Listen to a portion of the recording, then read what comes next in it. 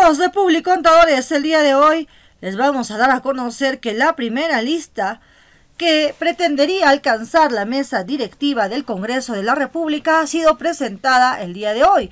Tanto que habían negado la alianza Fujicerronismo, finalmente se dio a conocer que sí estarían juntos. En la presidencia encabeza el congresista Alejandro Soto Reyes, que tendría bastantes denuncias. Asimismo, en la primera vicepresidencia encontramos a Hernando Guerra García y en la segunda presidencia a Valdemar Cerrón, lo que trajo muchas reacciones tanto de la izquierda y la derecha. Hasta ayer se decía que Perú libre, pero este, lo que se acaba de conocer también es un acto de cobarde, pues, ¿no? Se suponía que éramos parte de ese bloque y eso se considera pues una traición y una manera de hacer política sucia. El acuerdo entre Perú Libre y Fuerza Popular para ir juntos según la lista la mesa directiva del Congreso generó un cisma y dejó sin piso a los bloques de derecha y centro izquierda que en conversaciones previas habían dejado claramente establecidas sus posiciones. Al mediodía ingresó oficialía en la lista número uno que postula la presidencia al congresista de Alianza para el Progreso Alejandro Soto, que propone en la primera vicepresidencia a Hernando Guerra García de Fuerza Popular, en la segunda a Valdemar Cerrón de Perú Libre y en la tercera vicepresidencia a Roselía Morús de Avanza País. El documento lleva las firmas de los voceros titulares de Somos Perú y de APP. En nombre de Avanza País, Perú Libre y Fuerza Popular firman los alternos.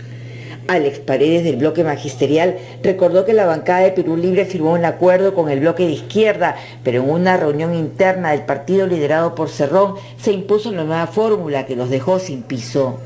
Cuando uno ya toma una decisión, lo primero es comunicar, no, no enterarse este, por el techo, por las ventanas, ¿no? En Renovación Popular también cuestionan a Fuerza Popular por no dar la cara. Si creemos en la democracia tenemos que respetar los principios, no los afanes de poder. Los congresistas Eduardo Salguana de Alianza para el Progreso y Marta Moyano de Fuerza Popular justificaron la composición de la lista. Este no es un pacto político, este es un acuerdo parlamentario para garantizar una conducción eh, democrática, plural. Yo prefiero una mesa directiva que lo presida alguien de derecha, ¿no? A que lo presida un niño o un caviar. Las próximas horas serán decisivas para que los grupos parlamentarios que se sienten traicionados por un sector de la derecha y la izquierda recompongan sus cuadros. El plazo para presentar listas vence este martes a las 10 de la mañana.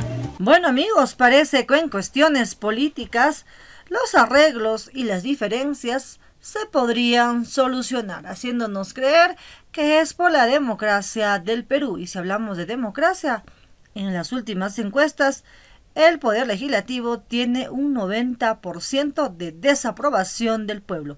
Eso significa que deberían de pensar en irse a sus casas y no estar pensando en pues postular a una mesa directiva. Déjanos tus comentarios, no olvides de suscribirte a nuestro canal, dale muchos likes y lo más importante, comparte nuestra información. Con nosotros será hasta la próxima. Tu.